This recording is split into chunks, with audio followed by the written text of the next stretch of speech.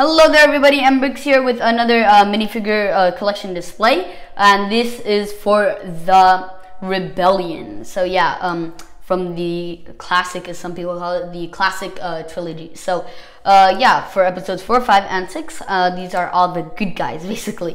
So uh, we're gonna, I took the liberty of including the uh, Ewoks, and um, I got two of the kind of Resistance Trooper battle packs. That's because they look kind of the same and generic, so and they're not named characters, so I could definitely use more as army building. So let's take a look at the stand starting with the Ewoks. So yeah, I decided to add them in, and this looks pretty good itself. Um, it's basically, hmm, sorry about the focus. Let's try to, yeah, there we go.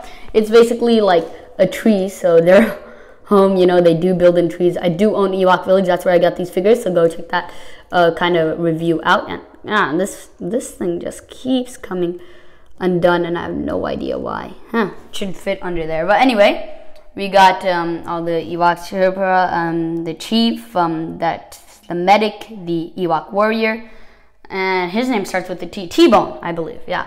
Um, so yeah, that uh, these go for um, kind of a lot because they've only ever appeared in two uh, different sets, and I do have an extra of one. But anyway, uh, we're looking at a total of 35 figures, by the way, so that brings my total uh, figure count uh, out of the stands I reviewed so far to 169, in case you were interested and are following around. Anyway, here is from Rogue One. Um, this is designed to look like the U-Wing, white bricks and blue, kind of the U-Wing color scheme, which I reviewed, where I got these figures.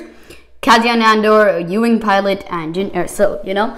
I would like to get Bodhi Rook, Baze Malbus, Chirrut Îmwe, all that, but, you know, um, the sets are off the market now, and, you know, to get them all, you know, you had to pay, you had to buy, like, out all the sets of the wave. Well, take a look at that last, actually. So, um, anyway, right here is for the droids. We got, um, C-3PO, but then we got a future version of him from Star Wars 7, where he has that, uh, kind of red uh, robotic arm right there. And then we got a BB-8, and we got two versions of R2-D2, regular R2-D2, and when he's all messy from Yoda's hut from episode 5. Here is the Resistance Army, small as theirs tends to be. But yeah, we got the Ewok ones, which are pretty popular because they are rare. One from Rogue One. Then all the ones from the Battle Pack, and don't forget Bistan from the U-Wing. He was supposed to be a main character in Rogue One, but 40%, by the way, no, 60, sorry. 60% of Rogue One was changed. If you didn't know that, originally, spoiler alert, they did not all die at the end.